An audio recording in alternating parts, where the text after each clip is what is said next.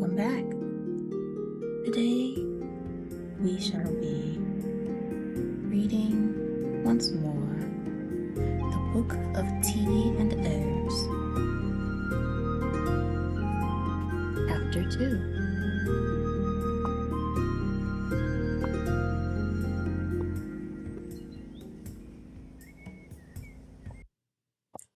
Switch Chapter now to two. FiOS 2 gig, our Oops, fastest internet is not ever. what was Look, supposed to finally happen. cut the cable, switch to FiOS 2 gig. Upload.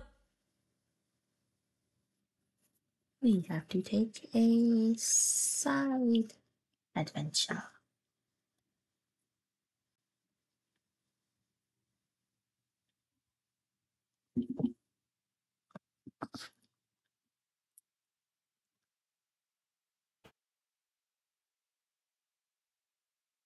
The I turn this off? Yeah, turn this off. Worst case scenario, I have to do something separate. So let me see. No, I'm not doing that yet. Hmm.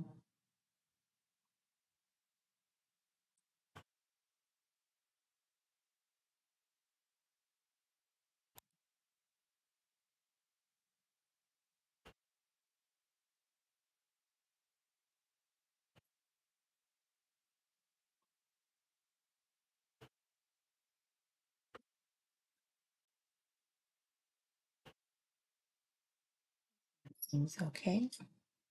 So I'll find out. Headphone warning just in case.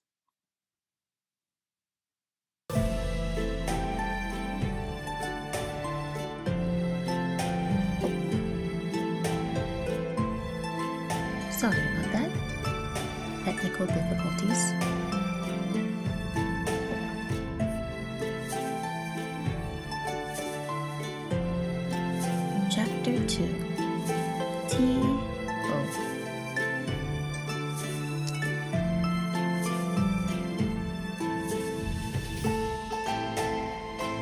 Chapter 2 Tea History, Culture, and Customs. We have an excerpt from the Minister of Leaves. Who draws the water and boils it? Who spoons the leaves from the tin and places oh, who spoons the leaf from the tin and places them in the pot? Who lifts the kettle and pours? Who waits?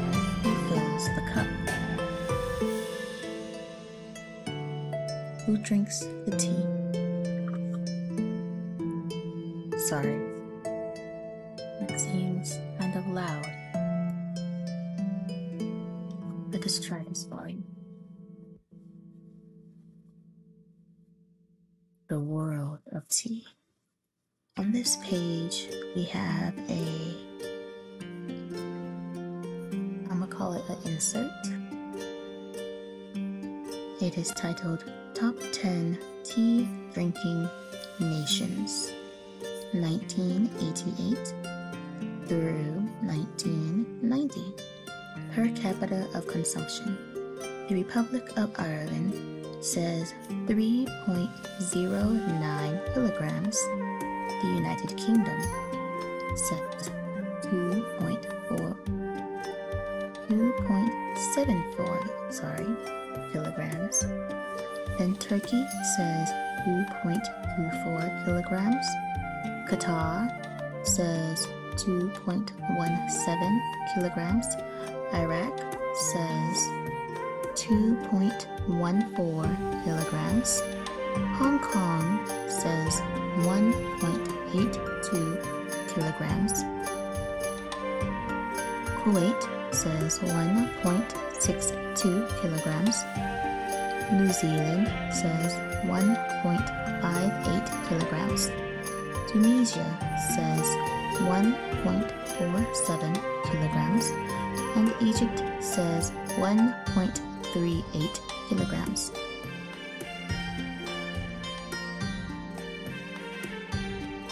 States that Canada is 26th at 0.53 kilograms per capita.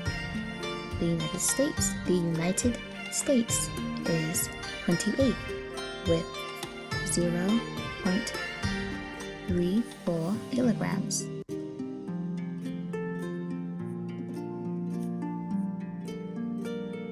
Figures for China were not available, they state.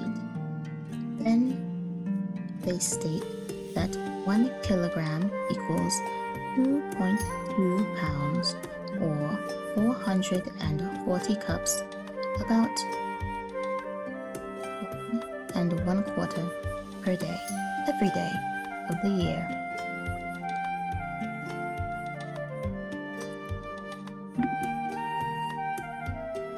Let's begin the chapter. Tea is a universal beverage consumed in greater quantity worldwide than any other drink except water. Yet, in no two places does tea mean exactly the same thing.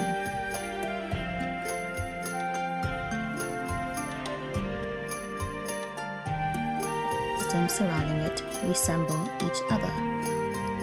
Ask for tea in the British Isles, and you'll be served a black, robust blend, usually of leaves from Ceylon and India. If you take it without milk, you may elicit a raised eyebrow. In China, the same request may well bring you a pot of fine oolong. In Japan, tea means green tea, and green tea only. And only in America will you probably be asked, asked, iced or hot.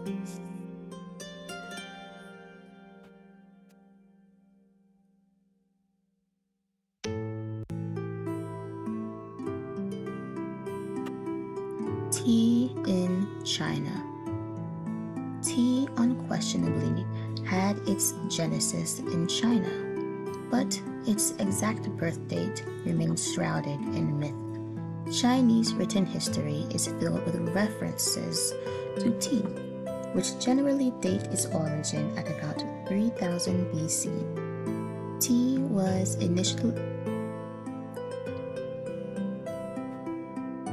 Tea was initially considered a medicine, gradually evolved into a social beverage, and ultimately became the center of a cultural ritual.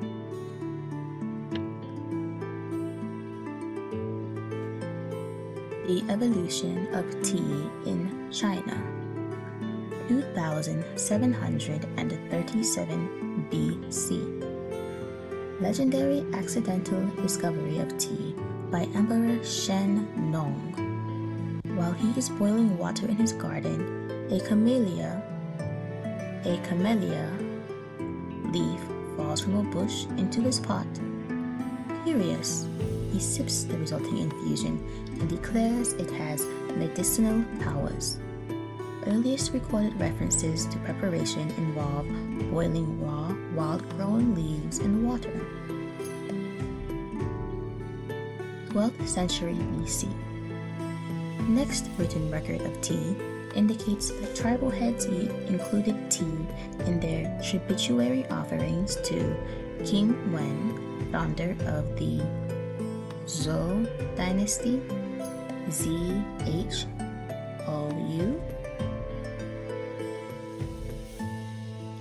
420 to 479 AD. Sung Dynasty. S U N G. Tea is well established as medicine, identified as an aid to digestion and liberator from lethargy. Preparation Raw tea leaves are dried and pounded, compressed into cakes, then broken off into pieces and boiled in water. Results are bitter and unpleasant. 559 to 589 Qin Dynasty. Tea is enjoyed more for its taste than for its effects on health, sometimes flavored with salt and spices. Ooh. 557 to 589 is sweet. Qin Dynasty. Correction. Correction. 589 to 620 Sui Dynasty. S U I. Tea propagation becomes more organized and widespread. Tea introduced via Buddhist monks into, into Japan, tea bricks emerged as a form of currency used in trade. 620 to 907 Tang Dynasty. T apostrophe A N G. Tea's first golden age. In 780, the poet Lu Yu writes the book, writes the classic Book of Tea, an elaborate treatise, treatise, T R E A T I S E, every conceivable aspect of growing, preparing, and enjoying tea. Spring tea harvest festivals become popular, as does the custom of donating the very best tea to the emperor, the first recorded tea tax. Preparation Tea bricks are made by steaming raw green leaves, pulverizing them, and reconstituting them as cakes, which are easily sold and transported. 960 to 1279 Song Dynasty. Tea drinking becomes widespread and is elevated to an art form. Tea rooms and tea houses emerge as social and spiritual gathering places. Special ceramics for tea preparation and tea drinking emerge as northerners become dependent on leaves from the south. They respond by increasing their production of silk use as trade goods. Preparation. Preparation. Fresh green leaves are dried and powdered, then whipped in a bowl with a whisk. The resulting beverage, bright green, thick, frothy, and potent, is drunk from a bowl. This style of preparation is still used in the Japanese tea ceremony.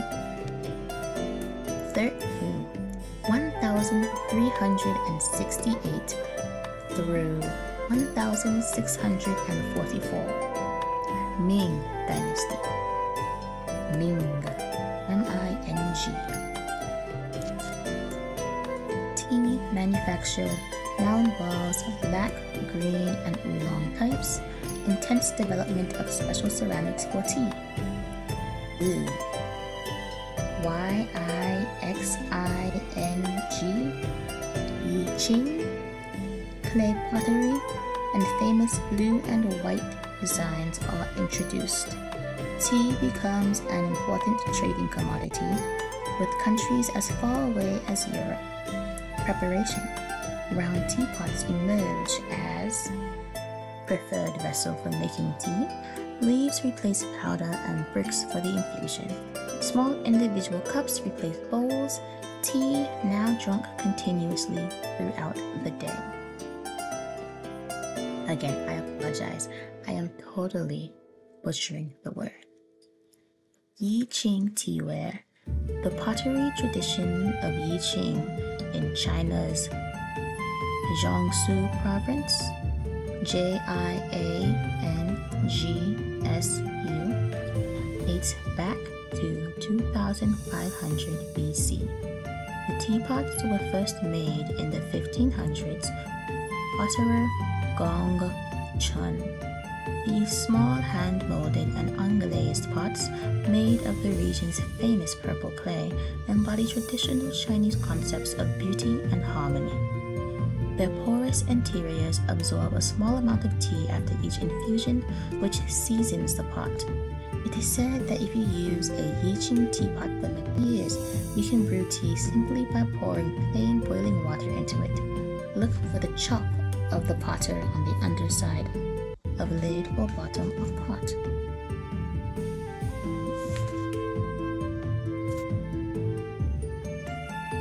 Trade history and customs from the early the early 1600s onward, the story of tea in China is inextricably linked with rapid advances in global shipping and exploration, tea became China's most important export.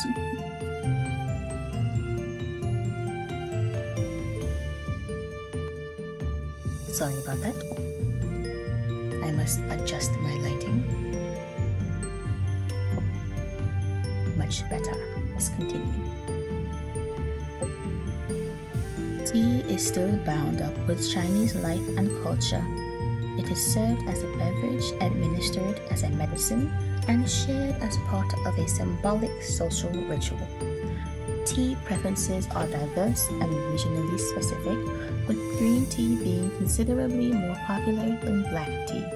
Some varietals of Chinese green tea are produced in such limited quantities that they are rarely, if ever, exported. Tea in Japan. Tea arrived in Japan in the early 8th century, brought by Buddhist monks who found its stimulant properties helpful to the practice of meditation. An old legend tells of an Indian monk, B O D H I D H A R M A, Body Bodhidharma, Bodhidharma, or Dharma, who fell asleep while meditating. To ensure this would never happen again, he cut off his eyelids. A tea bush sprang from the spot where they landed, producing a drink that would forever banish fatigue.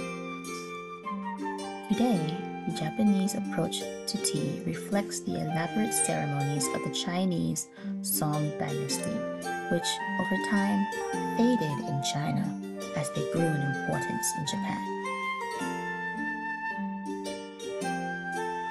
Tea ceremony. Like no other culture or nation, Japan has elevated the art of preparing and serving tea through a transcendent spiritual philosophy. The Japanese tea ceremony, spelled C H A N O Y U, Shan- Shanoyu, Shanoyu, is a disciplined ritual requiring dedicated study. Yet it also celebrates the simple poetry of life and the communion between host and guest.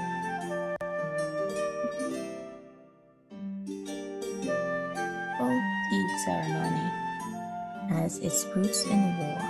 It is said that in the 16th century, military leaders would temporarily leave their weapons and differences outside the tea room in hopes of resolving the conflicts over a steaming bowl of cha.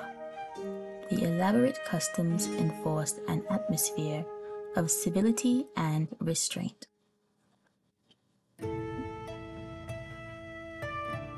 Tea ceremony. Every aspect of the experience is meaningful.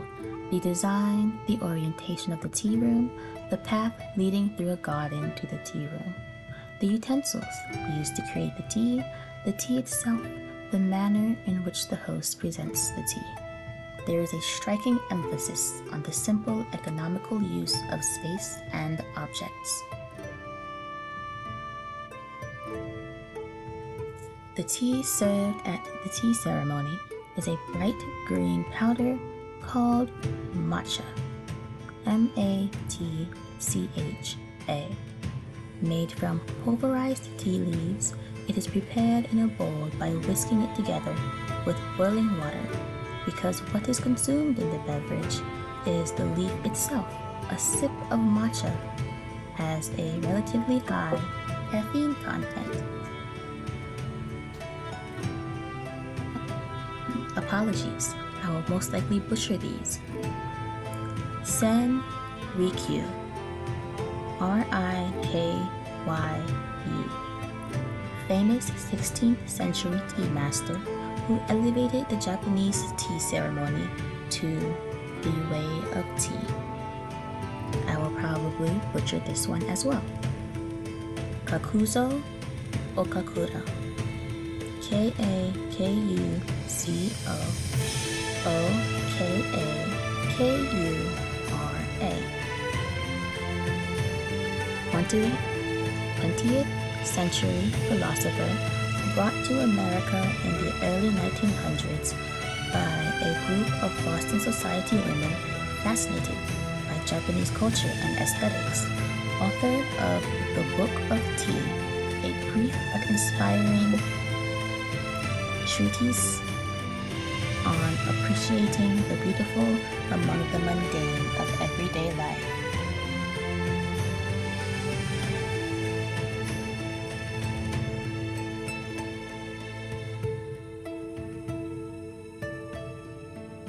Modern customs.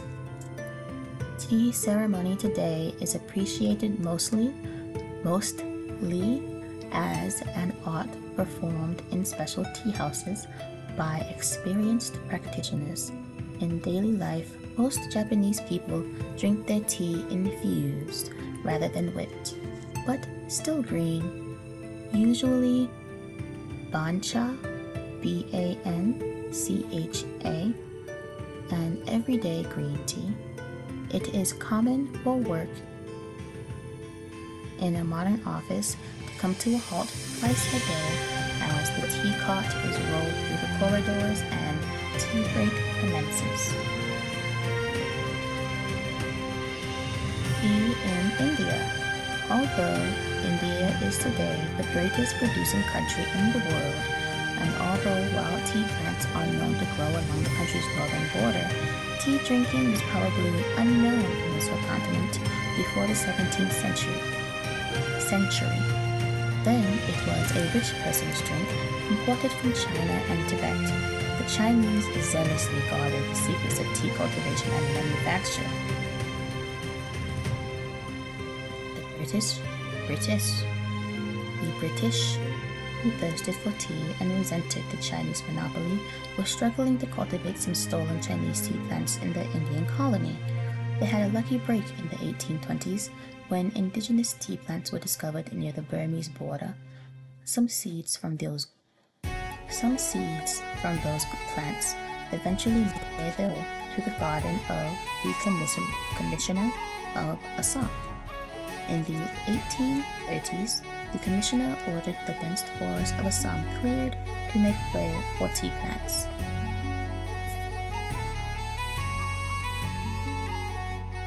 Despite plagues of dysentery, yellow fever, and malaria, the British persisted in carving tea gardens out of the mosquito-infested foothills of Assam and Darjeeling. From there, from these unpromising beginnings have come some of the world's greatest black teas. Even so, the tea drinking style in native India falls short of a connoisseur's standard.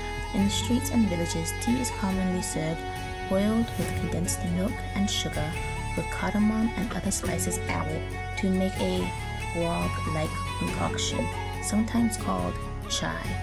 The middle and upper class often drink tea in the British colonial style with milk and sugar.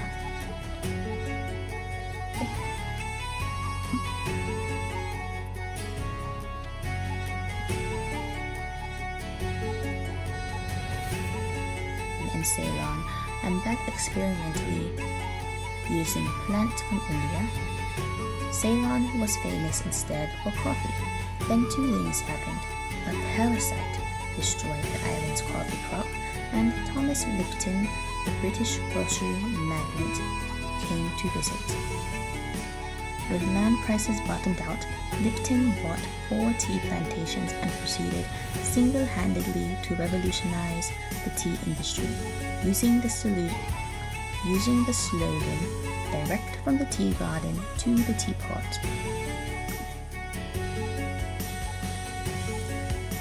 Lipton made marketing hay out of the lack of a middleman for his product.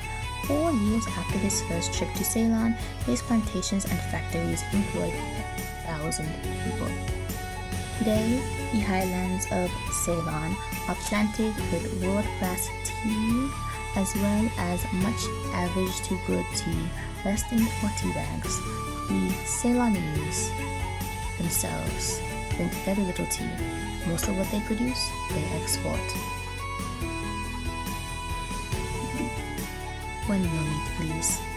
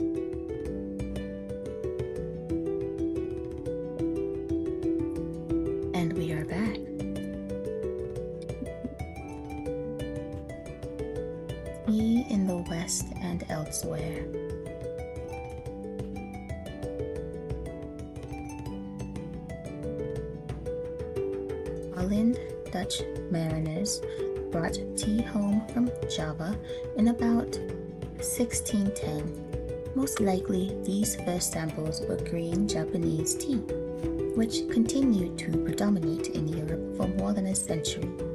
The Dutch East India Company. Wow.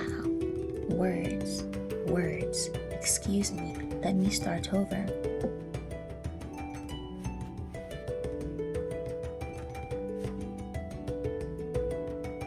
The Dutch East India Company quickly monopolized the early tea trade with China and Japan and introduced the leaf as well as the ceramic vessels to prepare it in to other parts of Europe and to colonial America.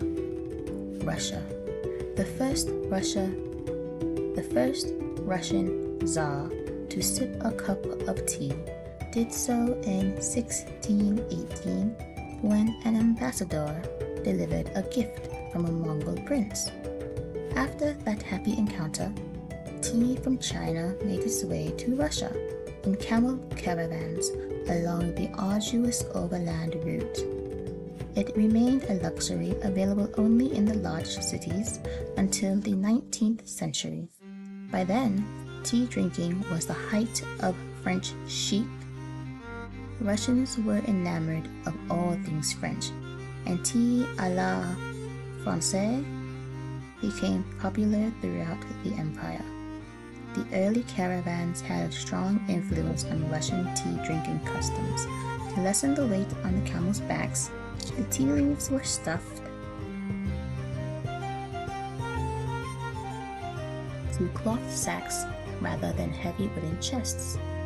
During the trek, the leaves absorbed the smoky scents of the evening campfires. This smokiness became a desirable quality in Russian caravan tea. Bulky, fragile ceramic cups and pots could not be transported from China, so the Russians devised the samovar, S A M O V A R, and on urn, usually silver or bronze, for preparing and serving tea. A pot on top brewed strong tea, which would be diluted from water in the bottom part of the samovar. A fire in the base kept the water boiling. It was bitter, so drinkers clenched sugar cubes between their teeth and sipped the tea through it. Sipped the tea through it. Africa. Tea has been drunk in Egypt since at least the 15th, the 15th century. Third variety is black from India or Ceylon, usually in fanning or dust form.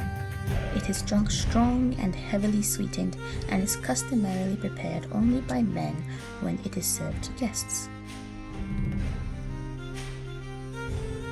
In Morocco, the traditional beverage had always been made from mint leaves alone. In the mid 19th century, British, British tea merchants introduced green tea into Morocco. where it was enthusiastically blended with the traditional concoction. Moroccan tea, strong, minty, and sugared, is poured in a thin stream from high above the table and served in small glasses accompanied by sweets. Tea is an important cash crop in many countries, countries, countries of East Africa, notably Kenya. The highest quality Kenya trees, Kenya teas are full-bodied and can rival in quality and character. Those of Assam, Cameroon, Malawi, M-A-L-A-W-I, Tanzania, Zimbabwe, Rwanda, and South Africa also produce tea, all of it black, some of it very good, much of it destined for tea bags. Before we move on, there is another insert with a C. It is titled The Clipper Ships. America's great contribution to the history of tea after independence from Britain, the fledgling U.S. merchant marine had begun its own tea trade with China.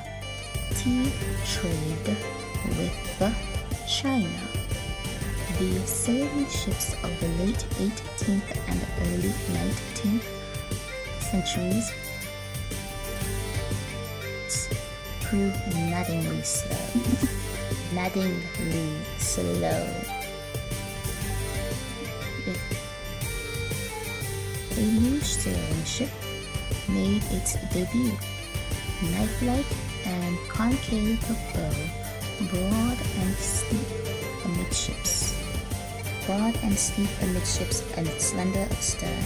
The first ship of this design, the Clipper Rainbow, proved so fast that she brought herself back to New York the news of her arrival in Canton, China. She had sailed round trip in 180 days, faster than any other ship could make the one way voyage. Within 20 years, the British had clippers of their own, and great races between clipper ships were eagerly followed by newspaper readers on several continents.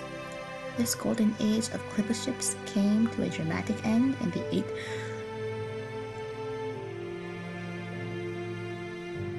1870s with the advent of the faster and more economical steamships.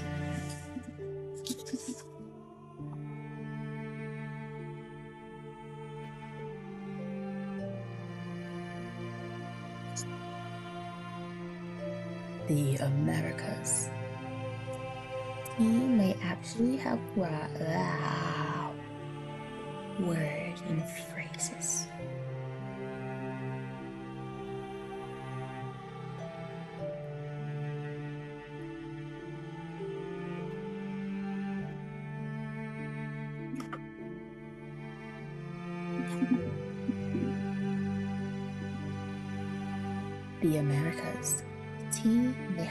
Actually arrived in New Amsterdam, Amsterdam, now New York, before it came to England.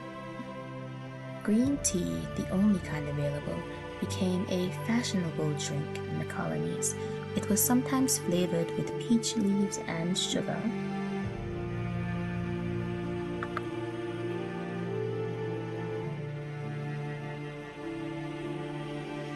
the mid 18th century, the English had supplanted the Dutch.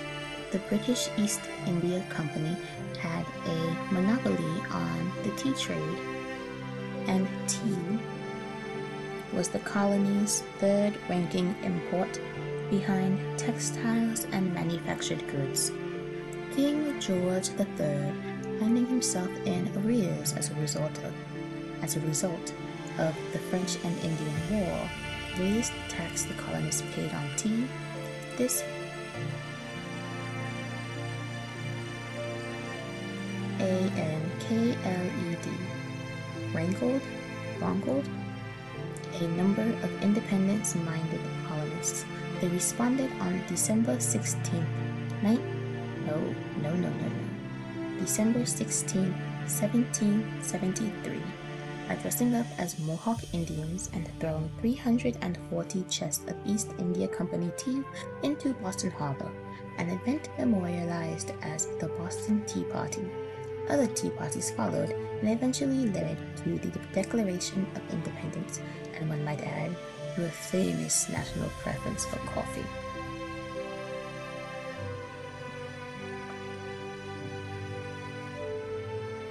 The invention of iced tea. The one form of tea drunk with enthusiasm in the Americas is iced tea.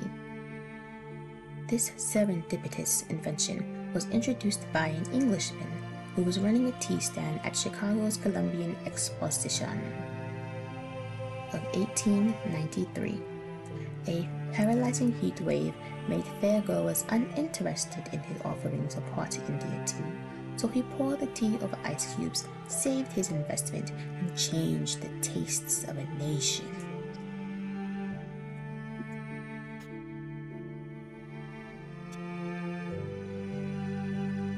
Tea in England. Until the late 1600s, all tea in England was imported from Holland. That changed when the British, British East India Company, a collective of wealthy British merchants with a royal charter to dominate trade and business by whatever means necessary, persuaded the crown to forbid all Dutch tea imports. Thus began the world's richest and greatest tea monopoly.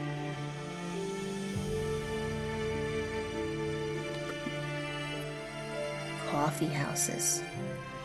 By the time tea reached England, coffee imported from blah.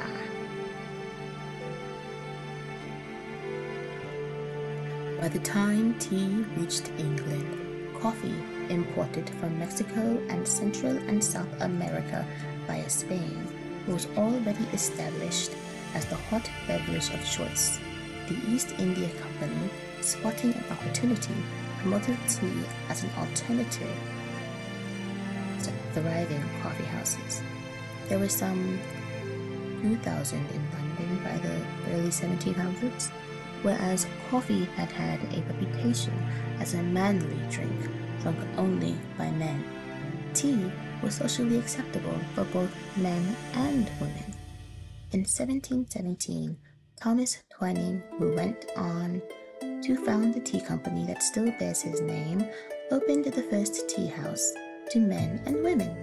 Very soon, tea replaced ale as, an, as the accepted breakfast beverage.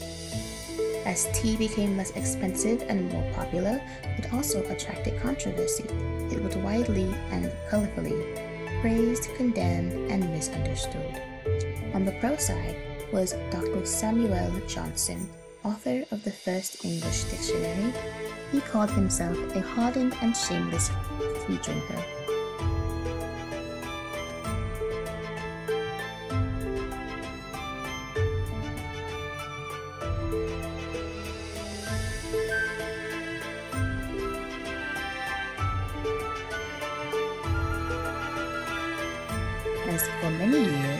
Diluted his meals with only the infusion of this fascinating plant, whose kettle has scarcely time to cool, whose tea, no, who with tea amuses the evening, solaces the midnight, and with tea welcomes the morning. On the con side was John Wesley, W E S L E Y, the Methodist reformer, who said tea was a waste of money that could better be spent on food. Later, during an illness, Wesley tried tea and became a convert. Into the garden. Tea moved out of the coffee house in the middle of the in the middle of the 18th century, at least in fair weather, and began to be enjoyed outdoors the tea gardens. In London, famous tea gardens at Rain Lag, R A N E L A G H, Marylebone, M A R Y L E B O N E, and V A U X H A L L.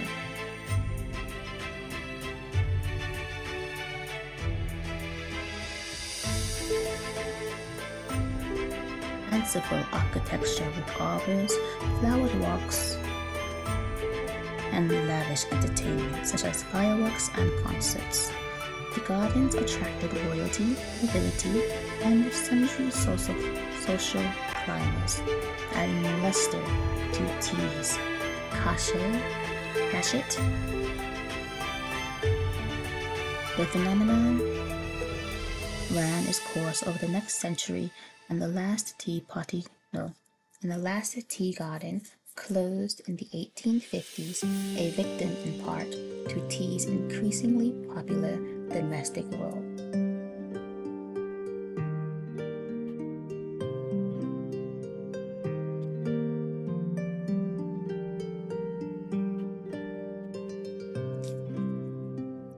Afternoon tea. Afternoon tea was invented in the mid 19th century as a brilliant solution to the stressful, stressful, to the stressful British eating habits, heavy breakfast, 8 p.m. supper, not much in between. Anna, Duchess of Bedford, began serving tea, sandwiches, and pastries at 4 o'clock. In the 20th century, the appointed hour become the appointed the appointed hour became 5. Within a few years, a formal tea etiquette had been codified, dictating not only the choice of utensils, china or silver served on fine linens, but also the attire, loose flowing tea gowns, the accompaniments, small sandwiches of cucumber, egg, or watercress, scones, and berry jam, dosed with cinnamon. Then and the tea itself, empire grown India or Ceylon.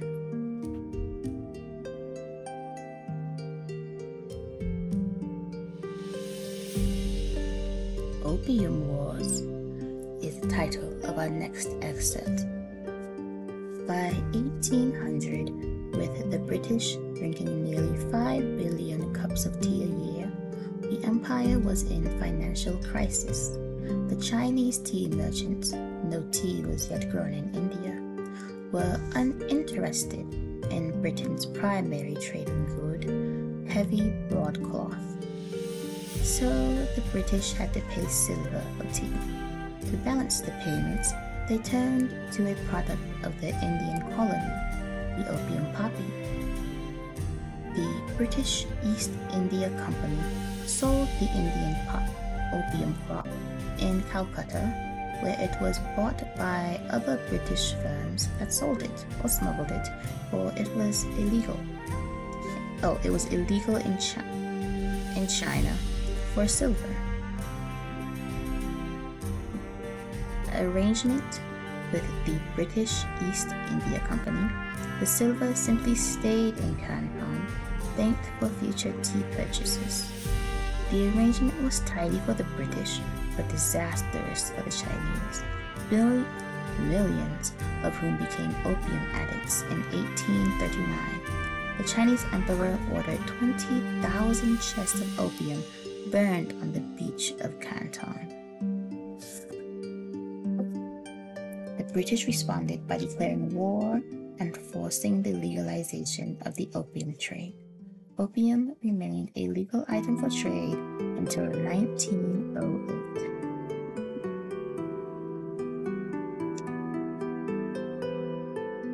The tidbit do this? Ah, yes, back to tea. The tidbit sized portions of these aristocratic aristocratic teas contrasted with the meat tea or illogically, tea, served in working class homes. High tea was and is a meal consisting of substantial dishes served with tea.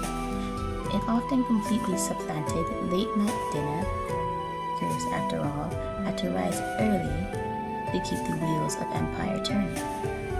British tea time today. The pace of modern life has taken its toll on the twice daily tea break. It's a fixture in, in British home and work life. Still, afternoon tea remains a cherished, virtually unshakable ritual, and the visitor who drops in at 4 or 5 o'clock is almost inevitably served a cuppa. When tea is served for children, the ritual is known as nursery tea.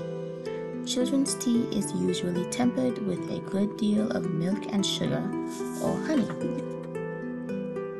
A cream tea refers not to the manner of serving the beverage itself, but the substitution of clotted Devonshire cream, D E V O N S H I R E, for butter on scones and other delicacies.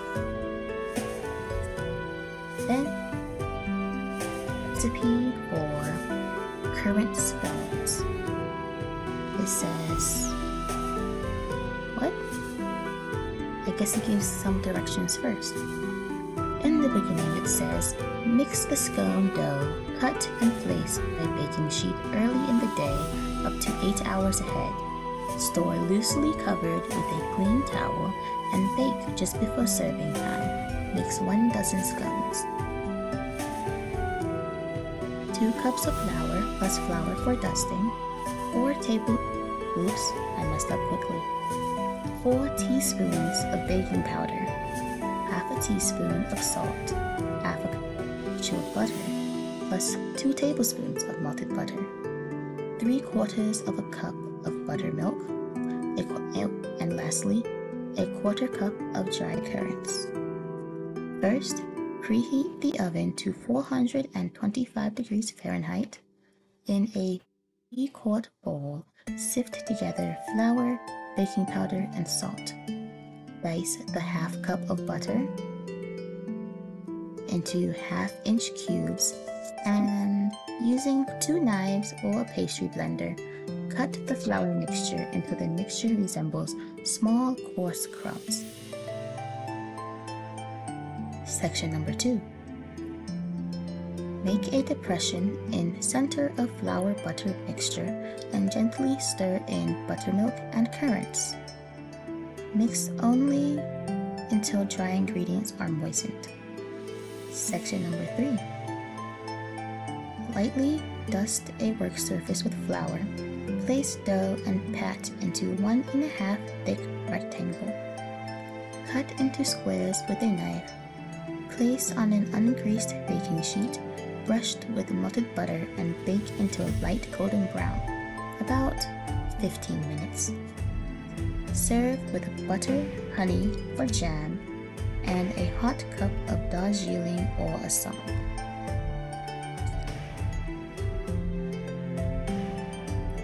Now we have come.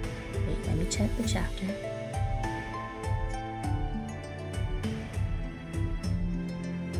Yes. Now we have come to the end of the chapter where they have the international language of tea, common expressions derived from tea. A nice old cup of tea, British, British, British, sorry. A dear person, Chali, C H A L I, Chinese, literally tea gift given to a young woman upon her engagement. By extension, the engagement itself. It no longer consists of tea. I am going to butcher this one.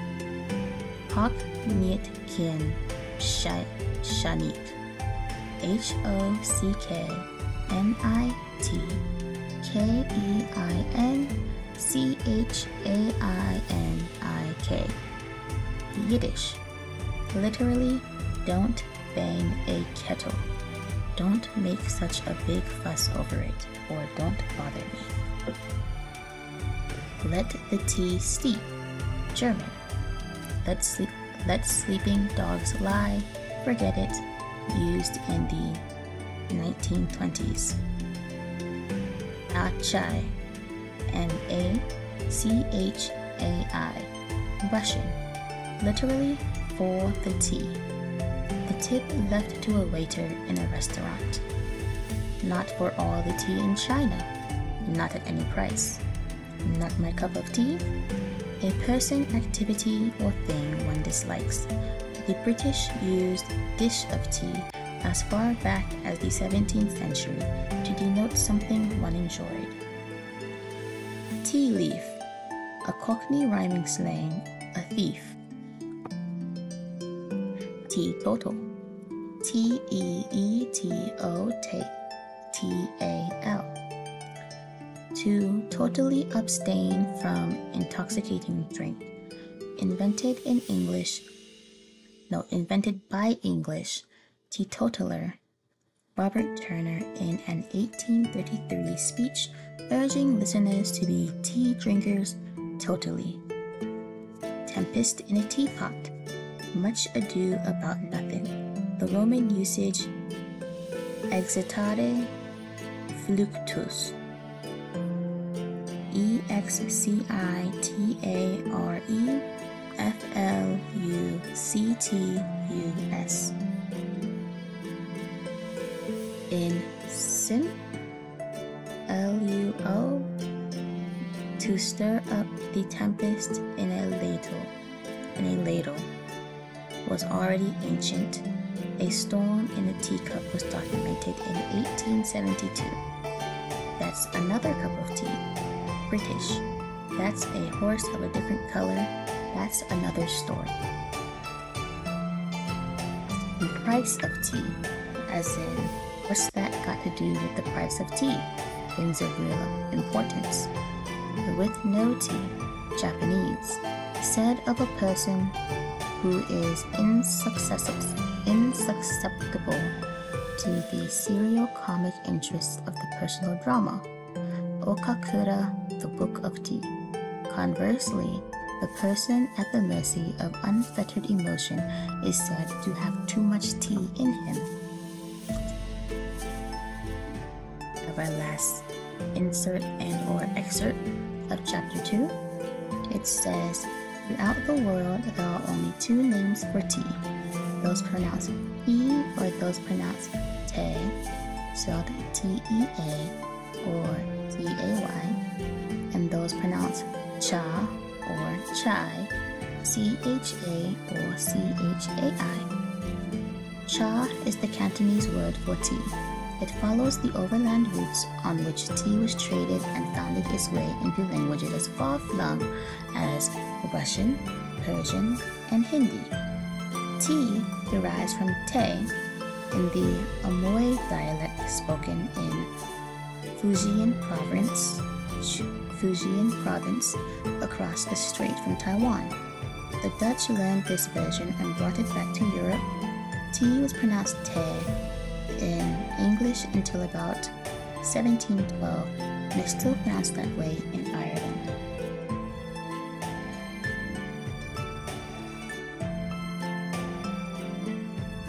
Chapter 3 Tea and Well-Being We open chapter 3 with a excerpt from The Qualities of Tea, broadside published in England, copyright 1660.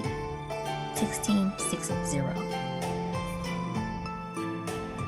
It is proper both for winter and summer, preserving in perfect health until extreme old age it maketh the body it maketh the body active and lusty. It helpeth the headache, giddiness, and heaviness, and heaviness thereof. It removeth the obstructions of the spleen.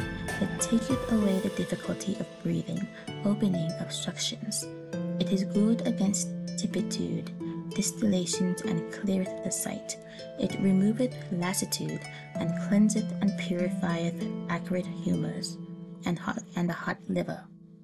It is good against crudities, strengthening the weakness of the ventricle or stomach, causing good appetite and digestion, especially for persons of corpulent body, such as are the great eaters of flesh. It vanquisheth heavy dreams, easeth the frame, and strengtheneth the memory. It prevents and cures. I'ma call them aches. It is spelled A G U E S. Surfeits and fevers. It strengtheneth the inward parts and prevents consumption. It is good for colds, dropsies, and scurvies, purging the body by sweat and expellant infection.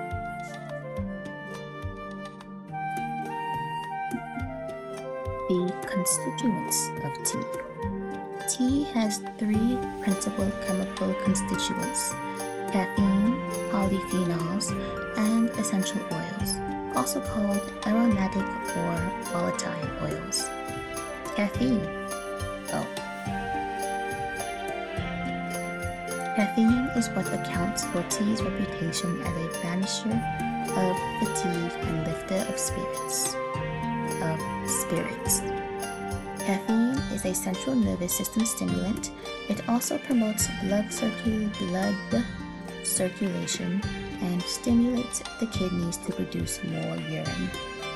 When caffeine was first extracted from tea leaves in 1827, it was believed to be a substance distinct from the caffeine in coffee. It was given the name theine,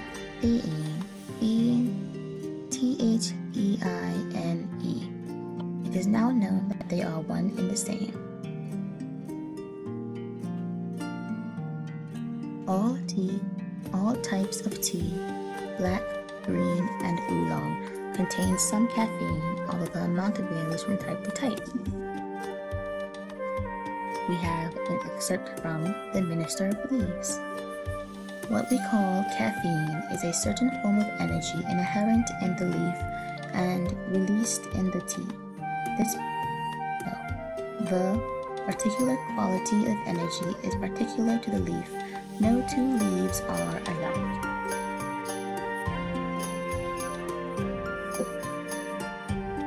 Caffeine and tea, the five considerations. 1. The longer the tea leaves have fermented during manufacture, the greater their caffeine content.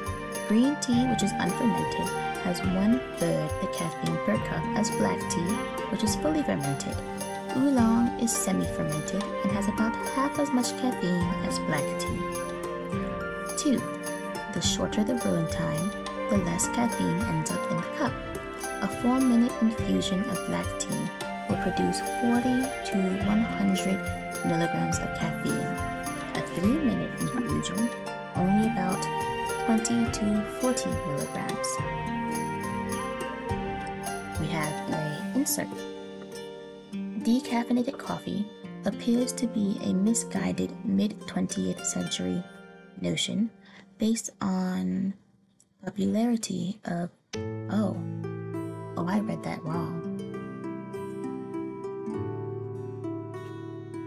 Start over. Decaffeinated decaffeinated tea appears to be a misguided mid 20th century notion based on popularity of decaf coffee.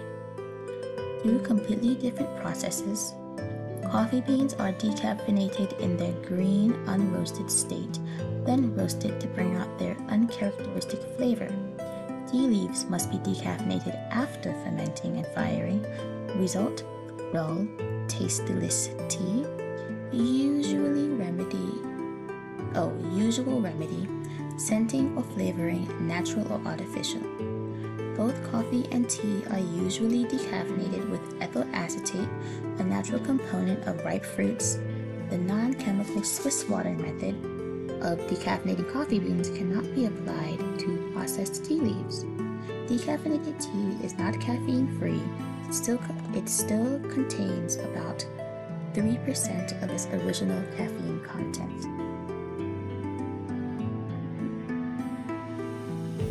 Number number 3. The smaller the leaf, the stronger the extraction of caffeine. using comparable amounts and brewing times. The tea bag, no, a tea bag filled with cut leaf or dust will release nearly twice as much caffeine per cup as whole leaf tea. Number 4.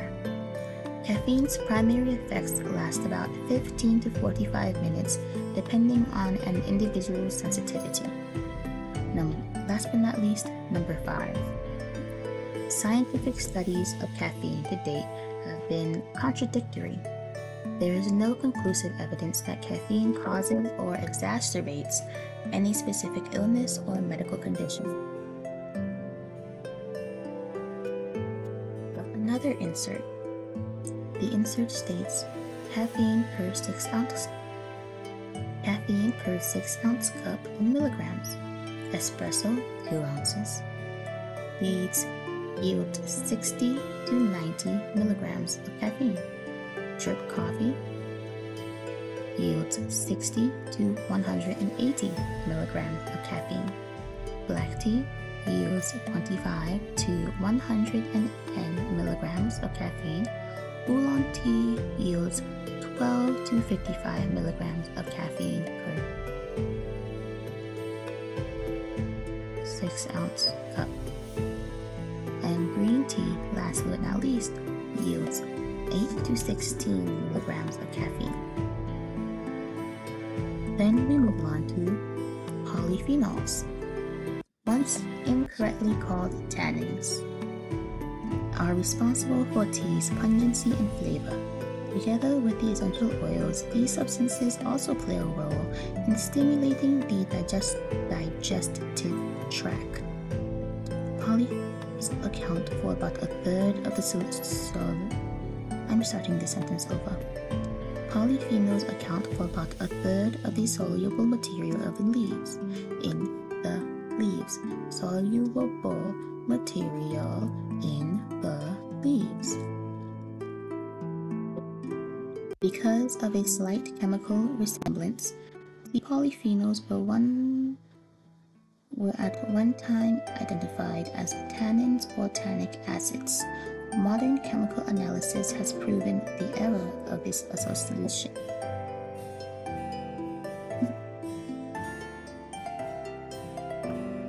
When tea leaves are exposed to oxygen during fermentation, some of the polyphenols are affected and some are not. Those that are not affected by oxidation end up producing the color and flavor in tea. Those that remain unoxidized provide tea's astringent, puckery quality. Green tea, which is unoxidized, has the most astringency and conversely the subtlest color and flavor. Black tea, which undergoes complete fermentation, has the least astringency and deepest color and flavor. Oolong once again falls in the middle. Current research reveals that polyphenols increase the number of white blood cells in the body and boost immunity to disease. Inhibits ab- inhibits absorption absorption of cholesterol in the in the words inhibits absorption of cholesterol in the digestive tract and seems to inhibit DNA mutation in rats.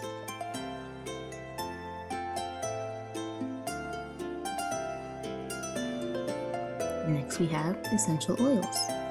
Essential oils contribute significantly to the fragrance of tea and somewhat to its taste.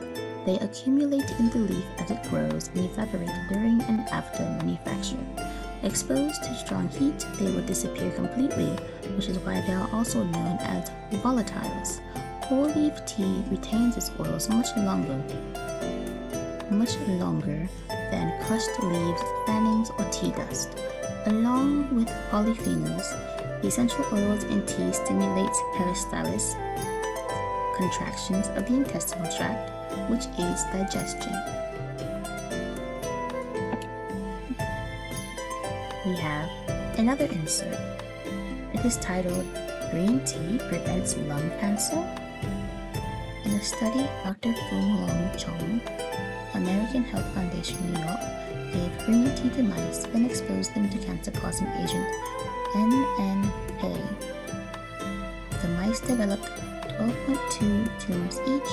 Those not given tea developed 22.5 tumors each. This reveals a possible correlation in humans. Cigarette smokers in Japanese tea producing district have a lower incidence of lung cancer than other Japanese smokers. Other research shows blue tea inhibits formation of stomach and stomach and liver tumors in mice. There is a footnote that says International Symposium on the Physiological and wow. International Symposium on the Physiological and Pharmacological Effects, effects of Camellia sinensis, New York City, March 3rd through 6th, 1991. Ooh, another one. On the next page, we have what I believe is, yes, our last insert for chapter 3. It is titled Fluoride in Tea Fights Cavities. Forget what you've heard about apples and carrots being nature's toothbrushes.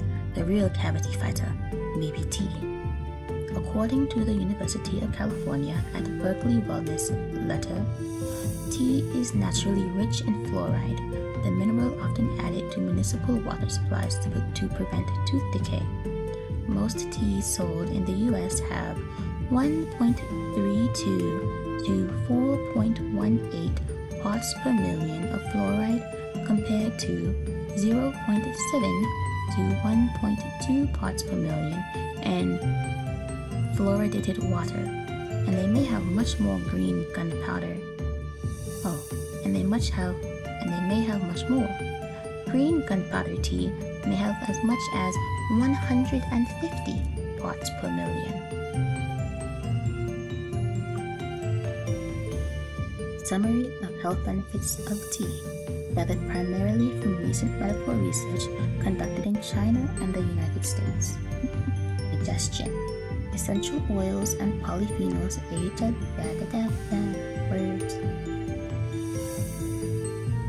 Essential oils and polyphenols aid digestion by stimulating peristalsis and the production of digestive juices.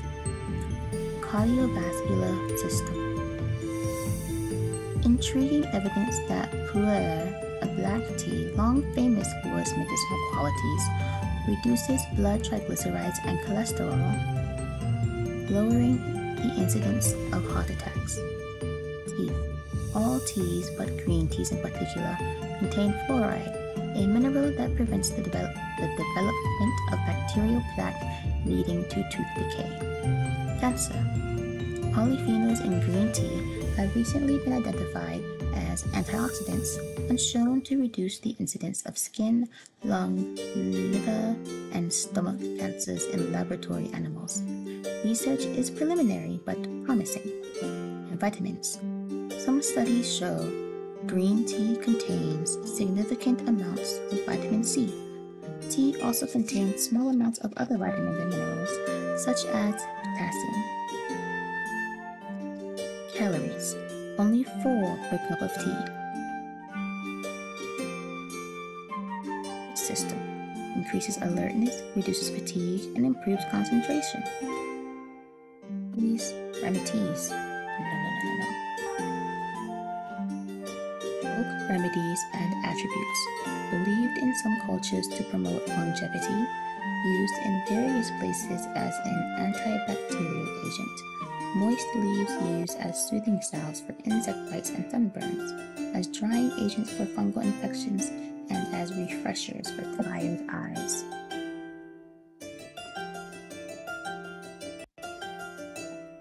Now we move on to chapter 4 A Guide to Beliefs. We start with an insert from the ministry, ministry, from the Ministry of Progress.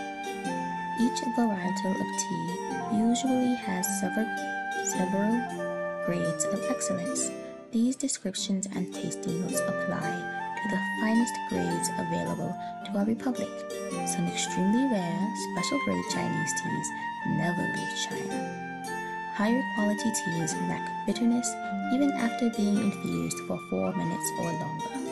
This advantage carries a price. Special grade teas often cost as much as 50 times the price of fourth grade teas, the most common grade found in the United States. Please note too that because tea is a natural product, even the highest grades are subject to variations in taste depending on weather, soil conditions, elevation, and freshness.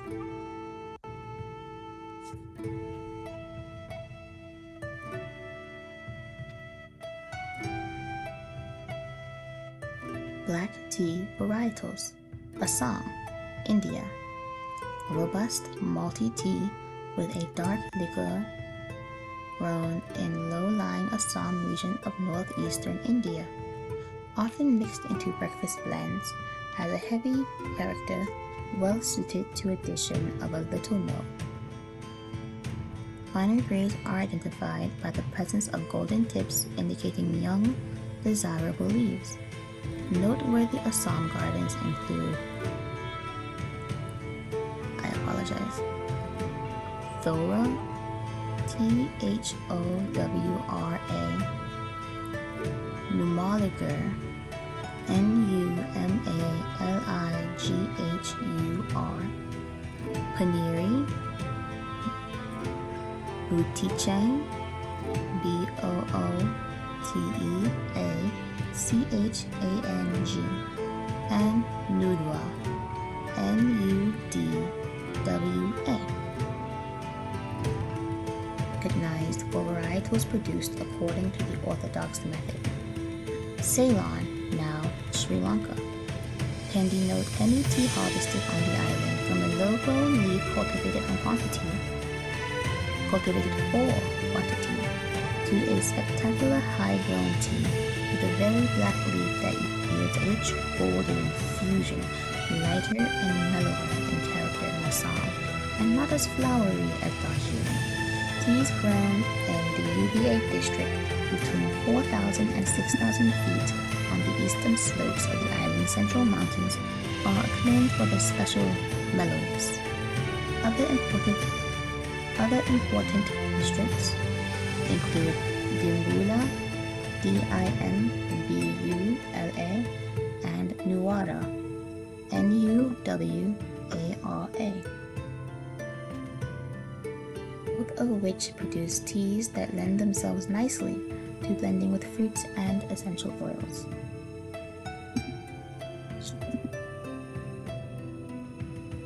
Darjeeling, India. Very fine and rare small leafed variety from the Darjeeling region and the Himalayan foothills of northern India noted for its clarity, light but flavorful cup, and complex characteristics. Darjeeling leaves are intentionally broken during manufacture, so you rarely see whole leaf even in orthodox method Darjeelings. Closely planted Darjeeling gardens roll for acres up the mountainsides from 3,000 to 6,000 feet. The higher the elevation, the lighter and more flowery the tea. Darjeeling means land of the thunderbird. Leaves produced at different elevations in the same garden often taste distinctly different. Darjeelings are sometimes identified and sold by state,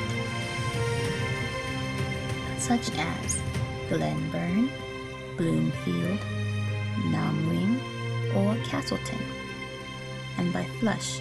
First flush is in April, May, which means it will taste light and flowery. The second flush, which is May through June, which then leads to fruitier and smoother flavor. And autumnal, which is the larger leaved and it tastes rounder in flavor. The exact timing of the flush depends on when the monsoon rains fall. The Darjeeling aroma is sometimes compared to that of Muscat grapes. Because of their scarcity, Darjeeling teas are only rarely sold unblended. Most store-bought blends include as many as 25 teas from different sources, with perhaps only 50% coming from Darjeeling. Keemun, China, spelled K-E-E-M-U-N. The most celebrated China black tea, grown in Anhui, Anhui, A-N-H-W-E-I, Providence in east central China. Fine Keemun has a small, slender, tightly curled, very black colored leaf and is unique among teas in that it gains rather than loses character age. Age. A-G-E. Its fragrance and sometimes is sometimes compared to roses or orchids. Also has notes reminiscent of deep chocolate. The infusion is sweet, a tad smoky, and well-bodied. Employed as a breakfast tea, the absolute finest grade of Keemun, which is not necessarily produced each year because of seasonal variations, is known as Hao Ya. H A O Y A. Now we have an insert that is titled Recipe for Tea Eggs. Hard boil a dozen eggs in enough plain water to cover them. Crack the shells lightly and put the teas back in the water. Add 1 tablespoon Keemun, 1 teaspoon salt, 1 chicken bouillon cube, 1 tablespoon soy sauce, and 2 whole star anise. Simmer for at least half an hour cool and stir.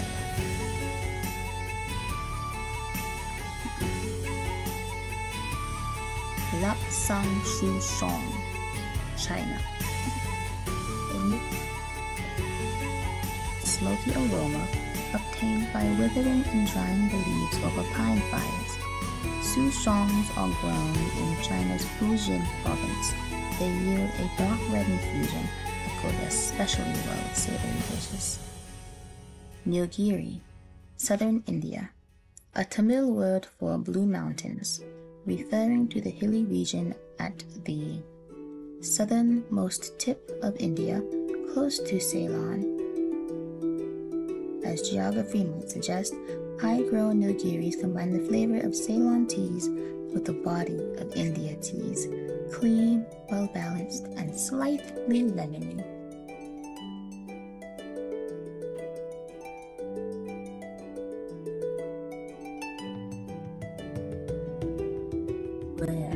China, an entire class of large leafed teas from Yunnan province in southwestern China. The more than 100 pu'er teas include black, green, oolong, and brick varieties. All share a folkloric reputation for medicinal value, prized for health benefits, not necessarily taste. Indigestion and diarrhea are two of the maladies pu'er has purported to cure. Earthy in flavor to enhance the taste, pu'er is sometimes blended with other teas and flowers such as chrysanthemum. Grown in the Mount Rope. Tea grown in a mountainous Chinese province since ancient times. Yunnan Black is shipped along with its golden buds and produces a golden liqueur and is a rich but subtle flavor. Aroma is deep and dark, yet retains a floral undertone, often used in scented tea blends and is a base for fine iced teas.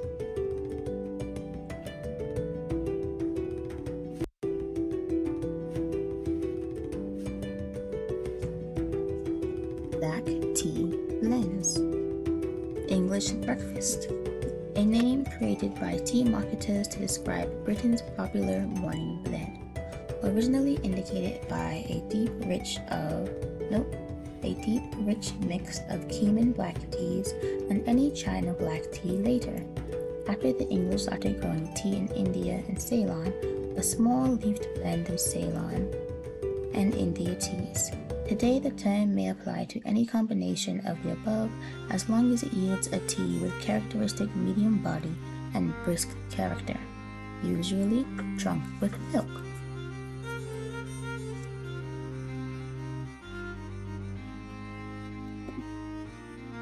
Irish breakfast. Another marketer's name, more complex, pungent, and substantial than English breakfast, thanks to the predominance of Assam leaves among other Indian trees. Russian caravan. Likely to be any of the number. Nope. Likely to be any of a number of hearty blends from China and Formosa, oolongs to unspecified blacks. Lapsang Souchong is often included for its smoky flavor. All Russian caravan teas have is a striking aroma supposedly imparted by campfires and camels.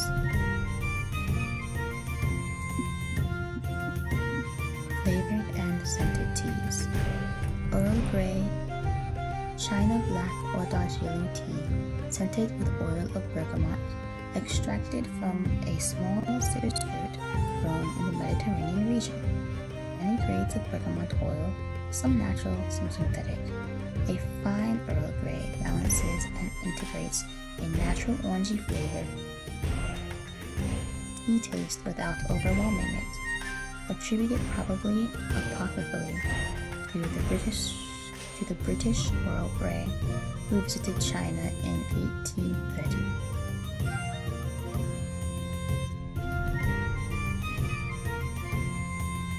Jasmine.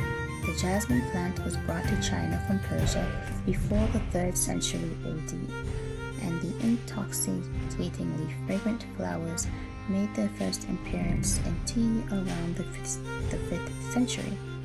The night blooming flowers are picked in the morning and kept in a cool place till nightfall.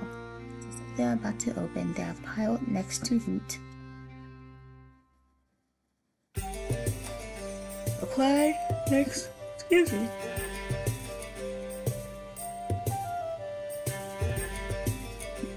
Applied next to heat and applied next to heat dried green tea which absorb the jasmine fragrance. This process is repeated two or three times for ordinary grades of tea, and up to seven very rare and expensive special grades known as yin hao. The finest pure jasmine teas have a very clean, balanced, and delicate taste. Some jasmine teas are artificially scented with extracts and oils. Have a floral character but lack subtlety. The presence of flowers in the loose tea has no bearings on the quality of the tea. Some excellent jasmine teas have no blossoms at all. Medicine has it that jasmine tea relieves diarrhea. Scented black teas blended with fruit. For centuries, fruit trees have been planted in tea gardens to shade the grown tea. To shade the grown tea bushes. Nature provided the suggestion of combining the two when breezes blew, the fragrant flowers drifted over the tea leaf and dusted them with pollen petals. In Assam, India, the indigenous mangoes are used. China, black tea may be flavored with the juice of the, of the lychee, a sweet tart fruit native to southern China. Other popular blends of fruits include plums, peaches, and cherries. The leaves used in the finest scented teas are often from Ceylon and are generally light-bodied and bright-colored. Long teas. Fancy Formosa Oolong. Formosa, now Taiwan. The finest and usually most expensive oolong, often costing as much as 10 times more than other top-grade teas. Infused leaves are rusty brown and very large. Leaf and bud sets, many with desirable silver tips, can be easily discerned. Highly aromatic, completely lacking in astringency. Fine Taiwan grown oolong has the flowery upper register of a top grade Darjeeling, but a rounder, fuller cup. Its flavor has been compared to chestnut, honey, and peaches. Finer types lack the dark, tarry, heavy character of lesser grades. Wu China. A large category of Chinese oolong teas said to have originated in the Wuyi Mountains along the western border of Fujian province and exported since the 18th century. Upon immersion, the crinkled leaves become bright green in their centers and slowly turn red around the edges, a sign of their partial fermentation. Like all oolongs, it has leaves much larger than those of other varietals. Ti Kuan Yin, Iron Goddess of Mercy. China. The most revered of Chinese oolongs, it has tightly twisted, shiny, dark leaves and a mild taste. It is one of the few teas that can be infused more than once, up to seven times. As lore has it, tea is known for its digestive properties.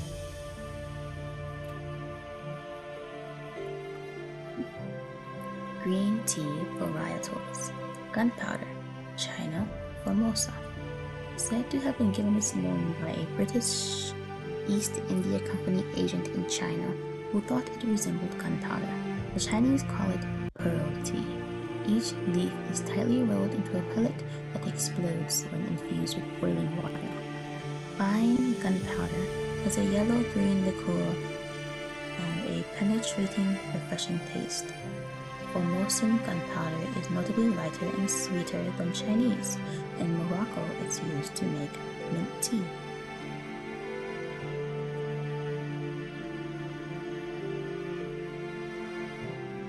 Hyson, not China.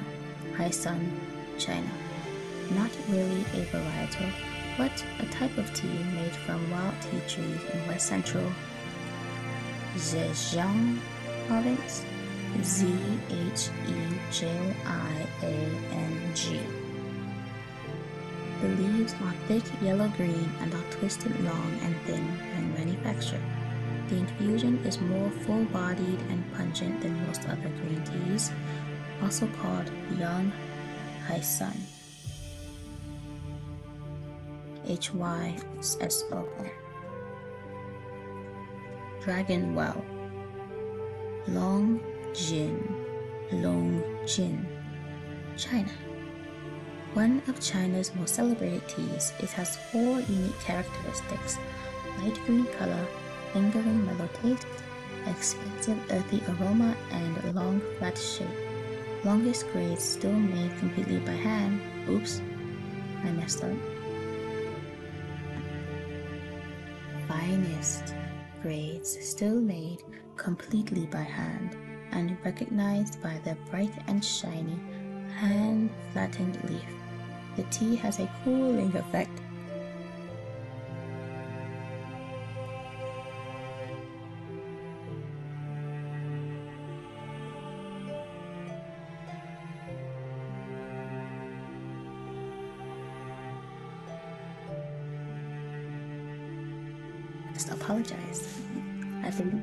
To end here.